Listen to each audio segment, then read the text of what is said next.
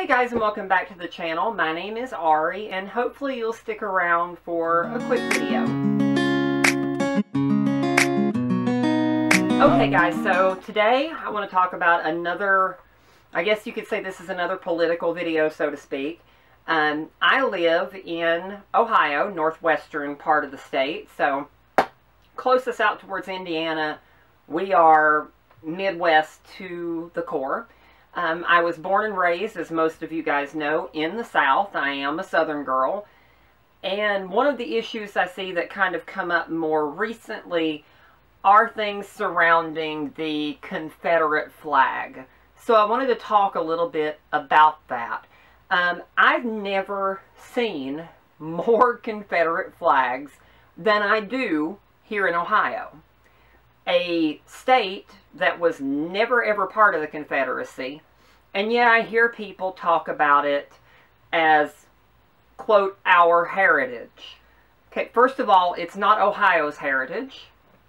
It is Southern, quote, heritage. But we'll talk a little bit about what that heritage really means.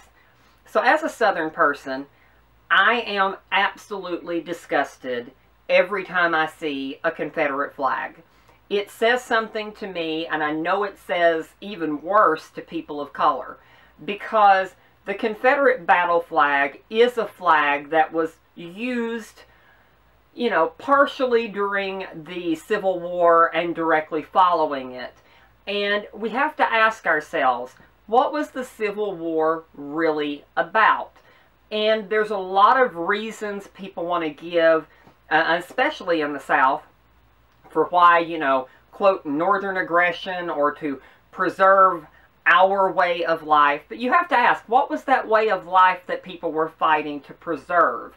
And when you look at what the early Confederate generals, the early Confederate leaders, um, those people during that time frame were saying, they did not mince words on what the heritage, on what the way of life was that they wanted to preserve. And what that was, was slavery. The war absolutely was fought over slavery. When they talk about northern aggression, the aggression was saying that all people should be, you know, free people, and we were still a long way away from from full freedom, and honestly, we still are. Um, but that was the aggression that the North you know, was looking at freeing slaves, of saying that people of color are actually people, which was something that Southern slave owners fought very firmly against because to them, people of color were not people. They were property. That's it. And that is what the heritage of that symbol is. When I first moved to Ohio and I was working for a particular retailer who I will not mention, um, and this is not on that retailer either, but I remember going outside for a break and there was a gentleman there, an older gentleman, born and raised in Ohio, who heard my southern accent and immediately assumed that that meant something about me because people hear this southern accent and a lot of people assume that means you are going to be in line with a certain version of their conservative ideology. They never consider that you can be a southern person with a noticeable southern accent and also happen to be a southern progressive and believe that all people should be treated as equals, that believe that Black Lives Matter, that believes that LGBTQ rights are human rights, that believe that women should have equal pay for equal work and that we should have paid maternity leave and universal health care and, and, you know, free and affordable education for all people in the country. They don't assume that that represents who you are. But this gentleman heard my accent and immediately went to a conversation about the, you know, Confederate rebel flag. And, um, you know, brought that up, and it immediately went to race. in his mind, and in the minds of people who fly this, the vast majority who actually know what it's about, it is connected to race. And in his case, it was about people of color and him saying, quote, they want to take over this country. Still remember those words. And, you know, I did push back on it. I did let him know that that didn't represent who I was. And that as far as, quote, taking over the country, if we're talking about people of color being elected to office, people of color being, you know, in leadership positions within our country, hell yes. Take over, in, if that's what you mean by take over. Because our Congress, our elected offices, should be representative of the American people. And this may shock some of you, but the American people are not all white cisgender men in their 70s. There are people of color in our country. There are women in our country. There are, you know, brown, black, you know, lots of different viewpoints and different people. And that's what our government should represent in that. When we hear this dog whistle about saving our heritage, make no doubt about what it's about. It is a dog whistle to the racist element within our own society. The white supremacists who are afraid that their time is ending. And make no doubt, their time is ending.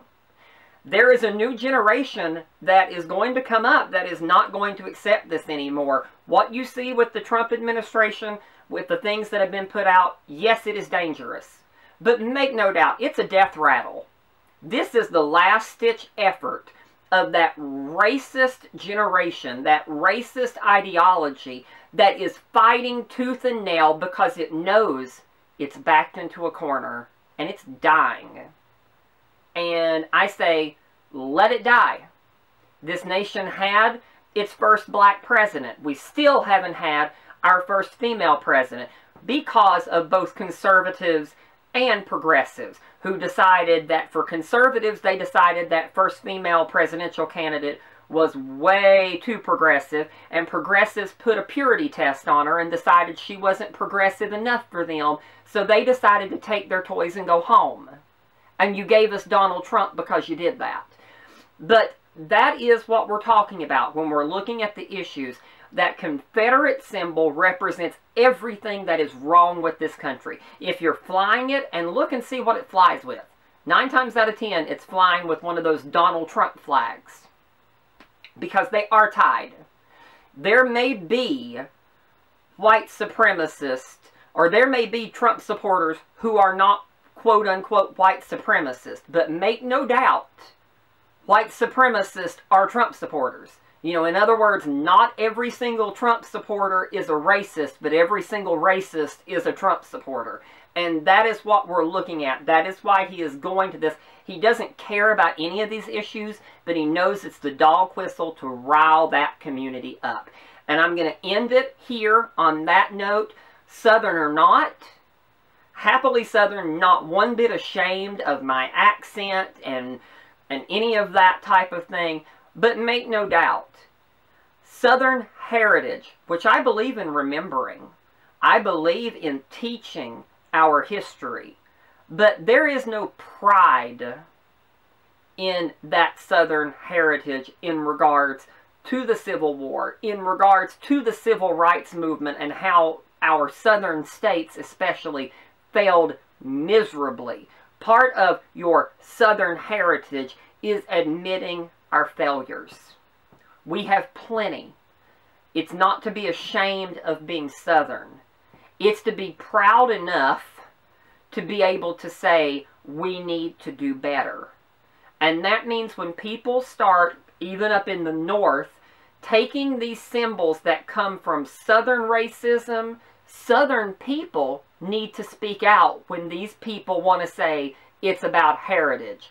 Well, that is, quote, my heritage. And let me tell you, it is a racist heritage that has no place in our country. I really appreciate you joining in for the video. I hope you enjoyed or learned something or saw a different perspective um, in this video. Before I close, quick mention, I'm reaching over. If you didn't know, I did write a book. It's called The Grove. It's available on Amazon.com. It features a transgender lead character. I hope you'll consider supporting me by making that purchase. I'll have a link in the description below. And I will end with my quote from Kesha. Don't let the bastards get you down. Hold your head up high, be proud of who you are, and realize that this nation is going to have to change, and we're going to have to be the change. You're the change by going out in November. Be safe, do what you need to do, but this is an election that can change a lot of things for our country. Do it go out. Yes, there is a particular candidate to vote for, because if you're voting third party, you're throwing it away. You're throwing the election right to Donald Trump. If you're going to write in somebody who did not win a primary, you're wasting your time. You may as well vote for Donald Trump. Be a positive change. The candidate in question may not necessarily get us where we want to go, but that candidate will sure as hell get us a whole lot closer than Donald Trump ever will. Have a great day, and I'll see you soon.